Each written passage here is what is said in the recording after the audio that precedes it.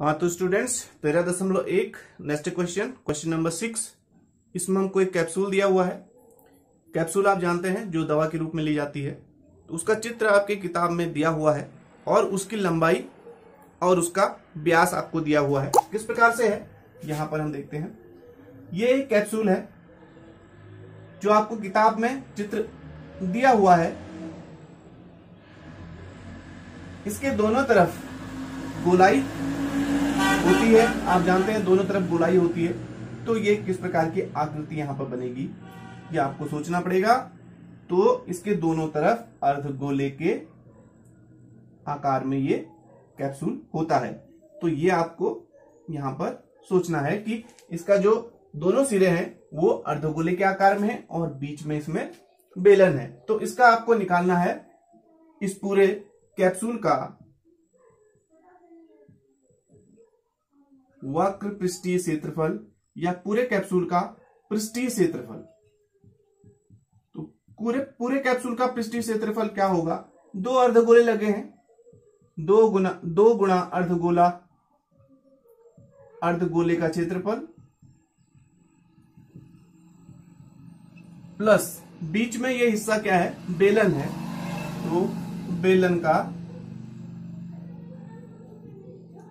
वक्र पृष्ठ है सिर्फ़। वक्र पृष्ठीय क्षेत्रफल, क्योंकि वहाँ पर आपको सिर्फ़ वक्र पृष्ठ दिखाई दे रहा है।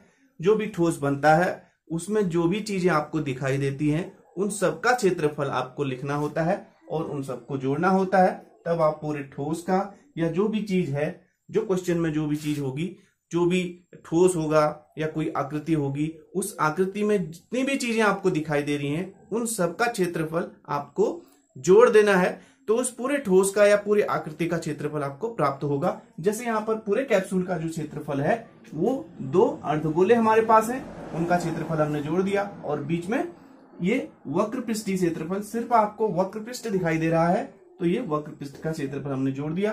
तो कुल मिला के हम यहाँ पर अगर लिखते हैं, अर्धगोले का क्षेत्रफल आप जानते हैं, टू पाई आर वर्ग होता है और बेलन का टू पाई आर एच होता है।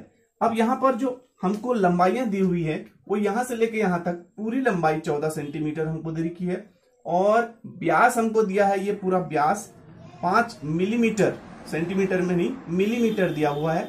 क्योंकि तो छोटा होता है बहुत तो मिलीमीटर में लंबाइयाँ दी हुई है। तो ये मिलीमीटर है तो इसका जो आधा हो जाएगा, वो त्रिज्या हो जाएगी। इसकी यहाँ पर जो अर्धगोला है, पाँच बट्टे दो। तो त्रिज्या पाँच बट्टे दो हो जाएगी, अर्धगोले की भी और इस बेलन की भी। तो यहाँ पर जितनी भी त्रिज्याएँ होंगी, वो पाँच बट्टे दो हो जाएँगी।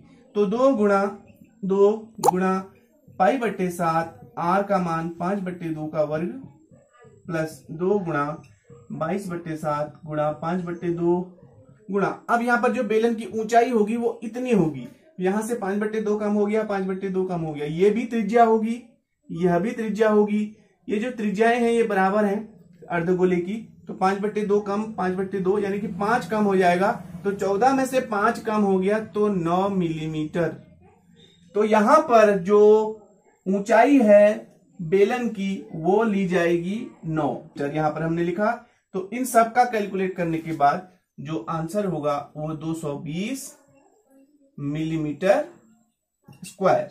ये आंसर आपको प्राप्त होगा। नंबर अब हम यहाँ पर करते हैं सेवन। यहाँ पर हमारे पास एक तंबू है। तंबू कैनवस से बना हुआ है मतलब एक कपड़ा, जिससे तंबू बनाते हैं।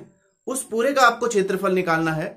तो वो तंबू किस आकार का दिया हुआ है? नीचे आपके पास जो दिया हुआ है, वो है बेलन, और ऊपर दिया है उसका आकार शंकु।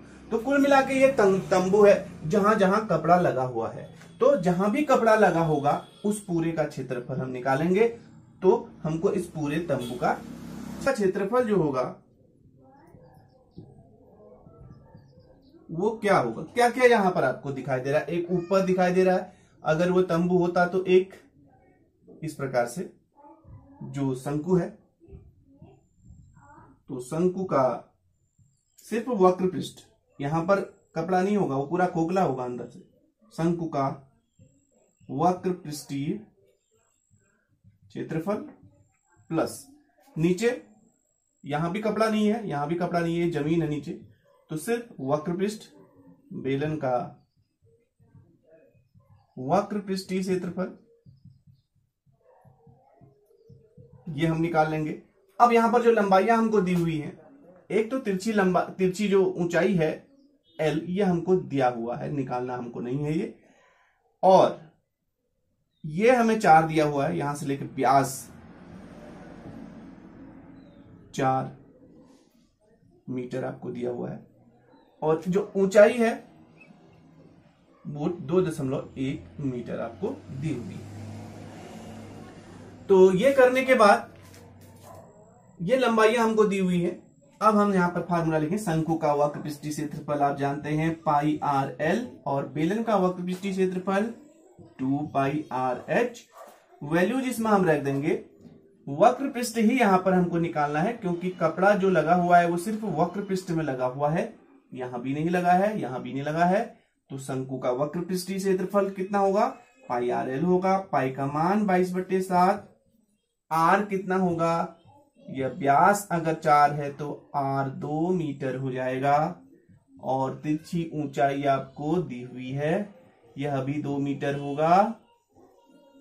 दो दशमलव आठ, दो गुणा बाईस बट्टे सात।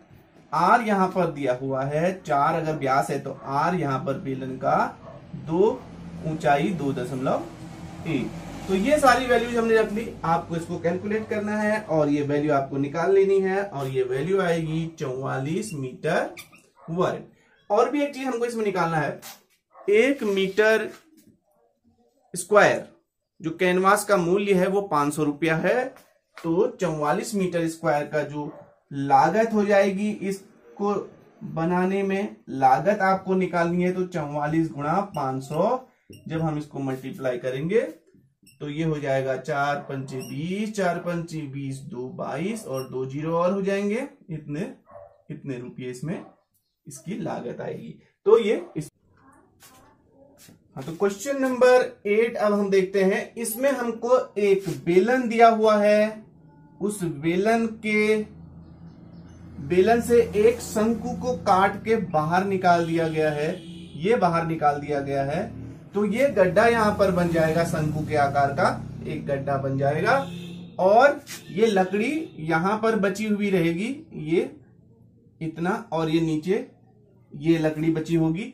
ये बचा होगा, ये बचा होगा, और इसमें से एक शंकु को काट के जो बाहर निकाल दिया गया, उसके बाद जब हम इसके अंदर देखेंगे तो ये एक शंकुआकार इस प्रकार से गोल वक्र पृष्ठ हमको यहाँ दिखाई देगा। तो ये, जो भी चीज़ हमको इसमें दिखाई दे रही है, इन सब का आपको क्षेत्रफल निकाल के जोड़ना पड़ेगा। तो इस ठोस का संपूर्ण पृष्ठीय क्षेत्रफल कितना आएगा यह हम निकालते हैं। ये निकालने के लिए सबसे पहले इसमें देखिए कौन कौन सी चीज़ आपको इसमें कौन कौन सी जगह आपको दिखाई दे रही है, जो है वहाँ एक तो हमको पूरे का पूरा बाहर से बेलन दिखाई देगा। तो बेलन का वक्र पृष्ठ वक्र पृष्ठीय क्षेत्रफल आपको दिखाई दे रहा है, प्लस नीचे वृत्तीय आधार का क्षेत्रफल आपको निकालना पड़ेगा। जो बेलन का आधार है रोटी के आकार का उसका क्षेत्रफल प्लस जो आप इसमें शंकु काट के निकालने के बाद जो गड्ढा बना हुआ है वो भी शंकु आकार है। तो चारों तरफ़ वो शंकु का वक्र पृष्ठीय क्षेत्रफल ये आपको दिखाई दे, देगा उसमें ऊपर से देखेंगे आप। तो कुल मिला के तीन चीज़ें हैं। इन सब का आपको फार्मूला लिख के जोड़ देना है। बेलन का वक्र पृष्ठीय क्षेत्रफल two pi r h plus आधार जो वृत्त के आकार का होता है नीचे, उसका हमेशा ही पाई आर वर्ग क्षेत्रफल होगा। तो ये पाई आर वर्ग हम लिख देंगे और शंकु का वक्र पृष्ठीय क्षेत्रफल यहाँ पर पाई आर और एल। अब यहाँ पर जो हमको लंबाइयाँ दी हुई हैं, पूरे बेलन की ऊंचाई दो दशमलव चार सेंटीमीटर दी हुई है और बेलन का व्यास आपको दिया हुआ है इसमें एक दशमलव चार सेंटीमीटर। तो इस तरीके से आप बेलन का अगर व्यास दिया है तो इसकी त्रिज्या एक दशमलव चार बट्टे दो हो जाएगी। एक दशमलव चार बट्टे दो यानी कि दशमलव सात। और ऊंचाई आपके पास है दो दशमलव चार सेंटीमीटर। तो ये वैल्यूज़ हमको यहाँ रखनी है पर यहाँ आपको ये, ये चीज़ दिखाई दे रही है एल इस एल को आपको अलग से निकालना पड़ेगा। ये निकालने के लिए एल बराबर आर का वर्ग धन एच का वर्ग, ये सूत्र हमेशा याद रखिए।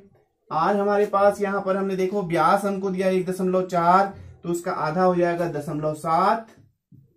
और ऊंचाई आपको दी हुई है दो दशमलव चार इसका भी वर्ग कर लेंगे। तो ये वैल्यू आ जाएगी छ सौ पच्चीस, इस प्रकार से छह दशमलव दो पाँच तो ये वैल्यू आ जाएगी 2.5 सेंटीमीटर तो ये वैल्यू एल हमको यहाँ रखनी पड़ेगी। तो ये वैल्यू हम यहाँ रख लेते हैं। तो दो गुणा बाईस बट्टे सात गुणा आर हमारे पास है दशमलव सात एच दो दशमलव चार, वही बाईस बट्टे सात, आर का वर्ग, आर दशमलव सात का वर्ग प्लस पाई बाईस बट्टे सात गुणा आर हमारे पास यहाँ भी वही होगा दशमलव सात और एल हमने अभी अभी निकाला है दो दशमलव पाँच।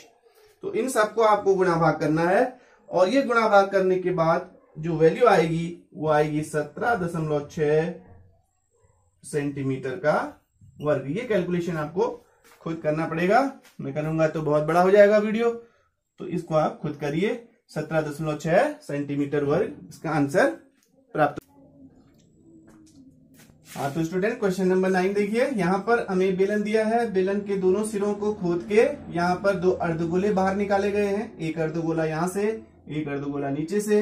तो जब हम इसमें देखेंगे तो नीचे जो दिखाई देगा हमको, वो अर्धगोले का वक्र पृष्ठ दिखाई देगा और यहाँ भी अर्धगोले का वक्र पृष्ठ दिखाई देगा और तीसरा हमको इस बेलन का वक्र पृष्ठ दिखाई देगा। तो तीन चीज़ें हमको यहाँ पर दिखाई दे रही हैं। तो कुल मिला अगर हम इस पूरे ठोस का संपूर्ण पृष्ठीय क्षेत्रफल निकालेंगे तो वो क्या होगा? वो होगा दो गुणा अर्धगोले का वक्र पृष्ठीय क्षेत्रफल प्लस बेलन का वक्र पृष्ठीय क्षेत्रफल। इन दोनों को आपको जोड़ लेना है। दो गुणा अर्धगोले का वक्र पृष्ठीय क्षेत्रफल, पाई आर वर्ग, दो, टू पाई आर वर्ग। प्लस बेलन का टू पाई आर एच। तो ये वैल्यू हम रखेंगे। तीन दशमलव पाँच हमको आर दिया हुआ है। एच आपको दिया हुआ है ऊंचाई दस। दो गुणा दो गुणा बाईस बट्टे सात गुणा आर यहाँ पर तीन दशमलव पाँच दिया हुआ इसका वर्ग हो जाएगा प्लस दो गुणा बाईस बट्टे सात। आर तीन दशमलव पाँच दिया है एच। दस हो गया। इन सबको कैलकुलेट करेंगे। तीन सौ चौहत्तर सेंटीमीटर का वर्ग ये आंसर आएगा। तो इस तरीके से इस सवाल को कर